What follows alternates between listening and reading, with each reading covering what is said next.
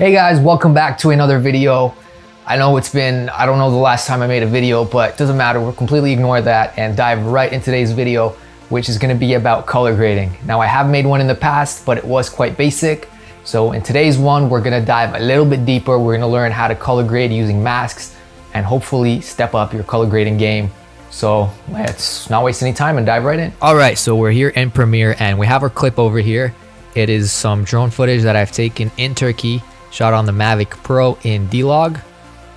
So it's pretty nice clip, uh, but it's very flat.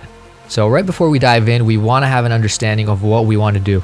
You want to most of the time kind of control the light. You want the viewer's eye is always directed towards the lightest part of the image.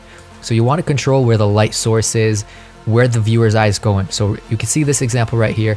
The light's over here and then all this area is dark. So the viewer's eye is directed around this area. Same thing with this example. We have our light source over here and all these corners are dark, dark, dark. So it's not very distracting and it gives this very aesthetically pleasing look. So we're gonna do the same thing. These are my images from Taiwan. We guys can check it out on Instagram. What we're gonna do is we're gonna do it by adjustment layers. So we've already created an adjustment layer here. Drag it on top and we're gonna create our first lumetri color correction type in Lumetri and drag it on top. Now before diving in, uh, you want to select a frame at where you want to color grade. So you park it right here. So I like this one right here. It gives us pretty much everything. The sun's in the middle. So I picked this clip specifically. It's not the greatest clip because we can see over here we're clipping out. But I picked this on purpose to show you guys how you can color grade such a clip uh, where the sky's blown out, but the foreground's okay.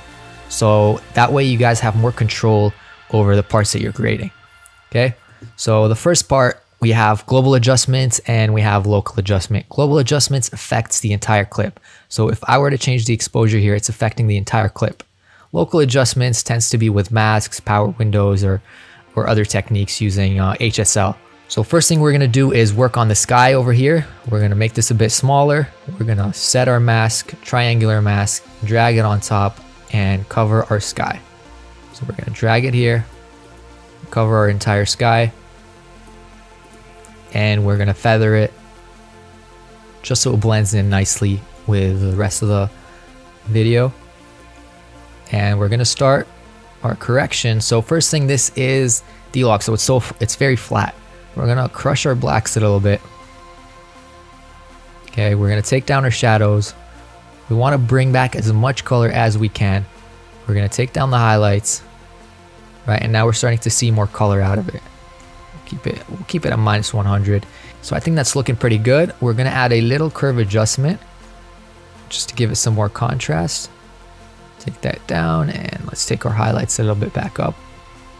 So it's an S curve, but we're not lifting up the highlights because it's already blown out, right? And what I like to do is add a little bit of magenta to the sky, just give it a nice look.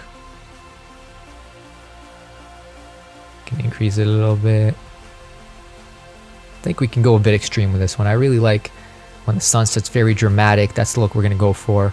Let's keep it at 35. I think that looks great.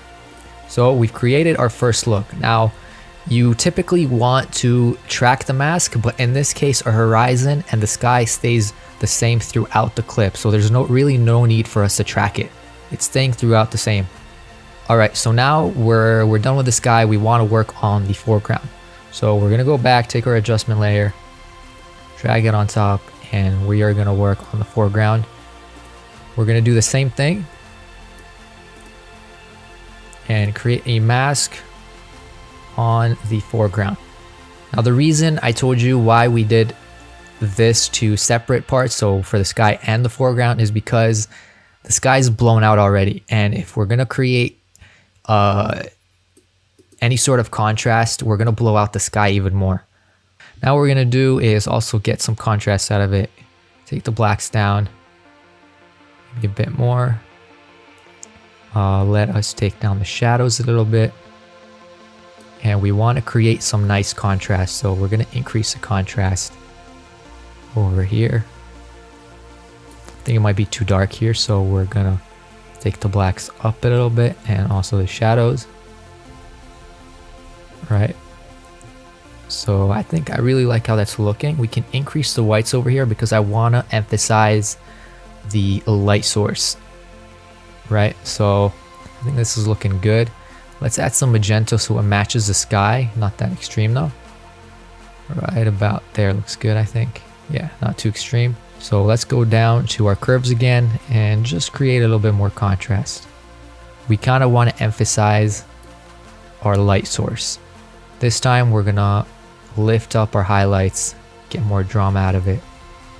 And what we're gonna do since we have our feather over here also affecting our sky and we don't want to do that, we're gonna drag our mask a little bit down. Just a little bit, not too much. And I think I like how that's looking. Let's take a look at the before and after. So that's before and that's after and it's blending in pretty nicely I think. It looks pretty good. It's almost seamless, right? All right, now we're gonna add another layer. So we're gonna add another adjustment layer and another Lumetri color. Add that on top. Now what we're gonna do, our game plan is to, like I said, our whole goal is to emphasize this light source. So what we're gonna do right now is we're gonna create a circular mask, right? We're gonna kind of make the light source more dramatic. And to do that, we're gonna brighten up the place where the light source is coming from. So light source coming from here, we want to make that area brighter. All right, we're gonna go to correction again. We're gonna lift the whites this time a little bit because that's the area that we want to brighten up. Okay, and I think we can expand it a little bit.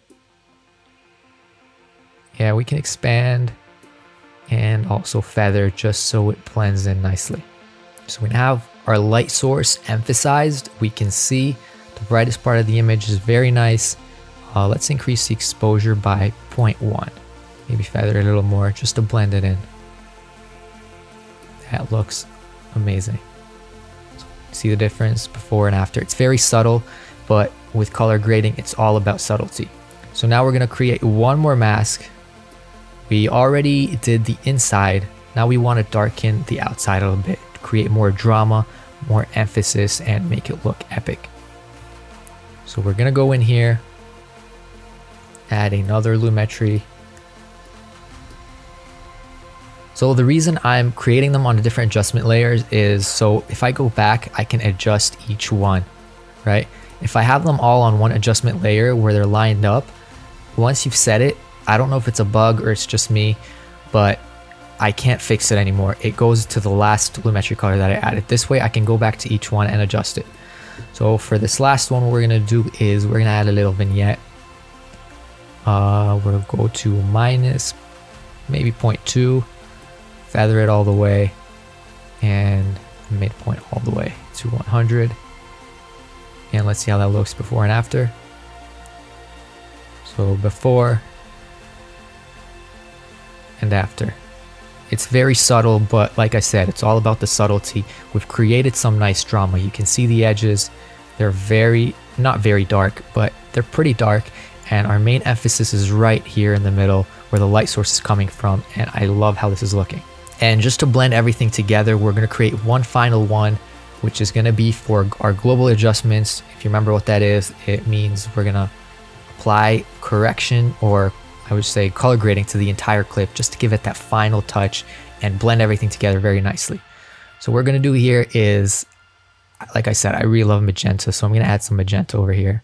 like 0.9, yeah, 9.5 looks good. And we'll go into our curves panel, go to the red, and let us take it down from the shadows. Okay, and bring this back up in the highlights. Now it looks a bit terrible right now, but bear with me. We're going to take our greens and we're going to also take it down. Not that much, a little bit. So a little bit goes a long way over here.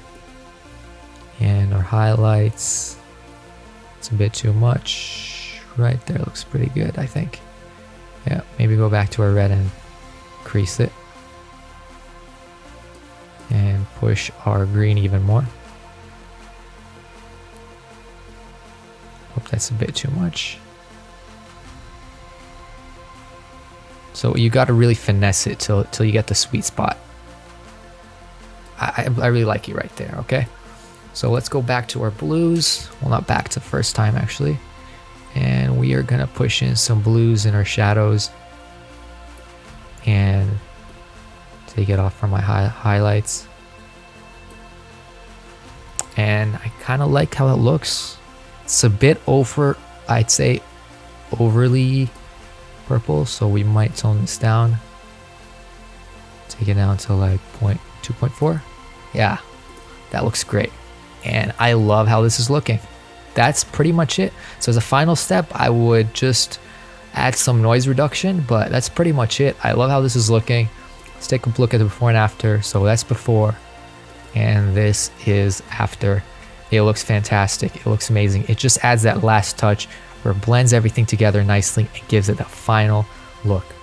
One last thing I forgot is our adjustment right here is we didn't track our mask. So you need to make sure that you track the mask so it's following this area all the time.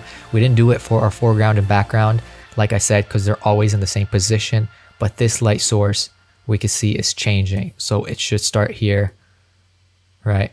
And then we just let Premiere do its thing and track the mask. So let's just play it one last time and see how it looks after tracking. So I think it looks pretty epic. It looks very dramatic, very cinematic. Uh, this area right here might be a bit too dark, but I think it looks really good.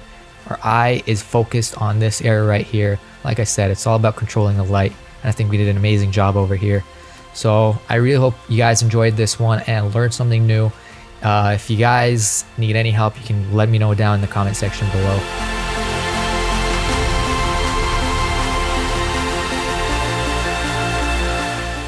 Thank you guys for watching. I hope you guys learned something. If you did, give the video a thumbs up. And that's it for this one. See you guys next time.